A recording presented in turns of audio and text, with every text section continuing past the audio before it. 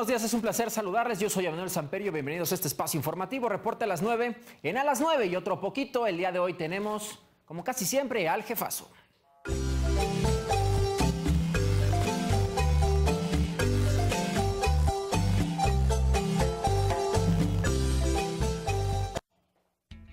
¿Qué pasó? Muy buenos días. El día de hoy en la mañanera comentó que ya se ratificó el Tratado de Libre Comercio con Canadá, con Estados Unidos, y que esto de alguna manera pues ayuda a ver a México como un país sólido y solvente. ¿Qué pasó? Buenos días, ¿cómo está?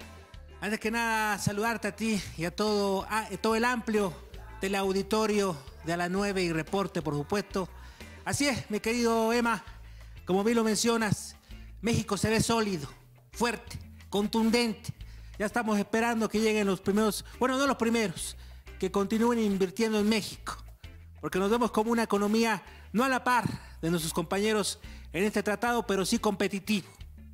Y bueno, lo del cachito de lotería dio mucha seguridad, por supuesto, a los inversionistas extranjeros, ¿no? Ya te apartamos lo que pediste, ya está listo. Espero que hayas comprado tu, tu sótano, pues en caso de que te lo ganes. Estamos seguros de que vas a tener suerte. A lo mejor tú eres el ganón del avión presidencial.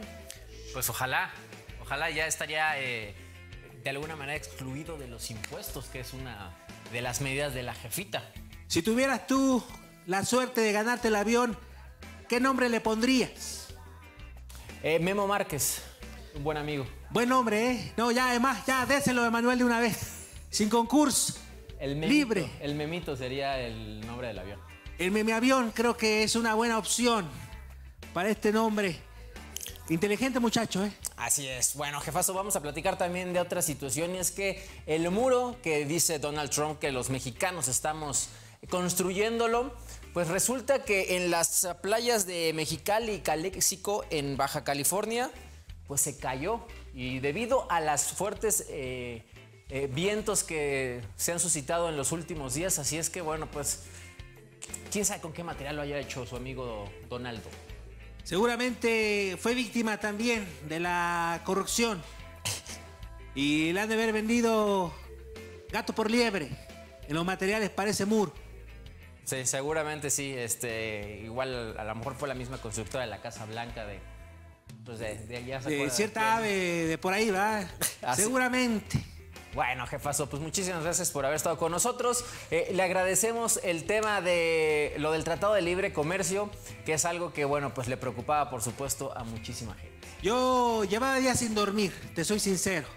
Pero ya por fin pegaré la pestaña a gusto ya, ahora que ya está firmado por Donaldo y que hemos logrado un acuerdo.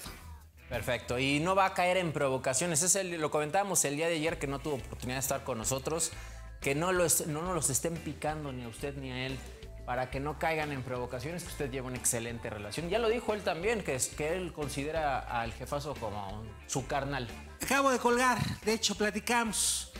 Un poco difícil la comunicación por la barrera del idioma, pero hoy voy mejorando. Ya llevo tres palabras aprendidas, vamos mejorando. Pues Marcelo es el que hace esa chamba, ¿no? Realmente él, eh, su, su, trabajo es traducción. Lo, lo tenemos ocupado. Casualmente está entregando colchones en el sur del país. Ya ves que él los arma y se va a gusto de gira. Pero ya regará y seguirá eh, traduciendo nuestras pláticas con Donaldo. Pues qué gusto tener a alguien que te pueda hacer el trabajo mientras usted está eh, conociendo cada día más barbacoas, más lugares de barbacoa, probando cuál es la mejor barbacoa de México. Sensacional. Es mi deber probar las barbacoas para evitar cualquier problema. Perfecto, jefazo. Muchas gracias. Nos vemos el día de mañana, ya por fin viernes. Te dejo porque un plato de barbacoa me está esperando. Se le está enfriando, ¿no? Se está enfriando. Te esperamos al rato. Bueno, jefazo, muchas gracias por haber estado con nosotros. Ahí está la información y es que vámonos con temas eh, locales de aquí de la Ciudad de México. Recientemente hubo una fuga de reclusos en el reclusorio sur de la ciudad y el gobierno capitalino reportó ayer la fuga de tres internos de alta peligrosidad, miembros del cártel de Sinaloa, desde la zona 1 del reclusorio sur. Uno de ellos cercano a los hijos del Chapo Guzmán, Víctor Manuel Félix Beltrán, el Vic, hijo a su vez de un importante operador del capo. Según las autoridades, los tres internos salieron presuntamente caminando. Poco después de las 8 de la mañana de este miércoles, tuvieron que atravesar cinco rejas para abandonar el reclusorio. La secretaria de Gobierno, Rosa Isela Rodríguez, presumió que en la fuga hubo una evidente colusión de servidores públicos y señaló que había molestia por estos hechos en el gobierno de la ciudad. Bueno, pues de nada sirve que estén molestos si no actúan de manera fuerte y con la mano firme. Vámonos con más información.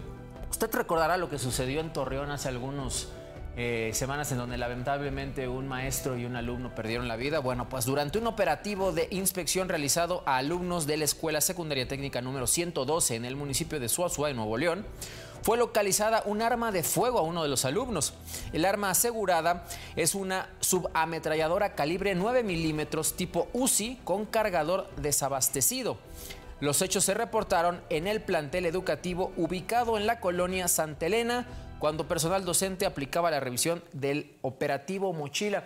Le dijeron al niño que de dónde la había sacado y dijo que se la había encontrado tirada en el piso. Pues así es, esa fue la respuesta. Por lo menos del estudiante de allá del estado de Nuevo León, pero bueno, qué bueno que afortunadamente pudieron localizar el arma antes de que pudiera llegar a manos peligrosas y un lamentable hecho que pudiéramos lamentar. Vámonos con más información. El día de hoy en la madrugada eh, hubo la alerta sísmica de esta aplicación, al parecer en Atoyac de Álvarez, en el estado de Guerrero en donde empezó el sismo, pero también a nivel internacional, un sismo de 5.3 grados se registró a la 1.24 horas en el sureste de Grecia, el cual se percibió en las islas Rodas, Casos y Cárpatos. De acuerdo con el Instituto Yonavik, el epicentro se ubicó a 74 kilómetros, 74 kilómetros al sureste de Cárpatos. El Servicio Geológico estadounidense afirma que la magnitud fue de 5.8. Y ya que andamos más o menos por esa zona, también en Roma un crucero fue eh, de alguna manera puesto en cuarentena debido a la situación del coronavirus. Todo esto, pues debido a esto que ya usted lo sabe, el tema del virus que realmente, bueno, pues está en boca de todos. En un um, crucero de Roma, eh, cerca de 3.000 personas eh, no las han dejado poder bajar del crucero debido a esta situación.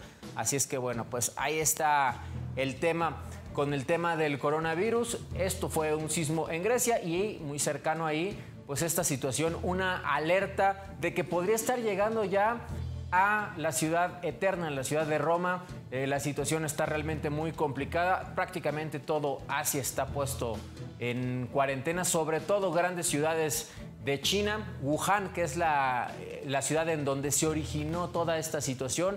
Ya se han detectado posibles casos en Estados Unidos. En México, ya lo hemos comentado, el caso de Tamaulipas fue el primero, se descartó.